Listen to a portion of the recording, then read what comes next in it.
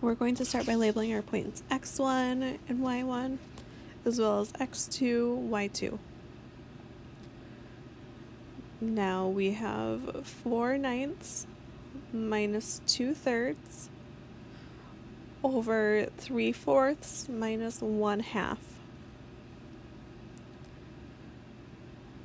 The first thing we want to do is get a common denominator for both the top and the bottom. That way we can finish the subtraction. So we're going to multiply as shown, which will give us 4 ninths minus 6 ninths over 3 fourths minus 2 fourths. And this will give us negative 2 over 9 over 1 fourth. So we have negative 2 over 9 divided by 1 fourth, which is equivalent to saying negative 2 over 9 times 4 over 1. This will give us a slope of negative 8 over 9.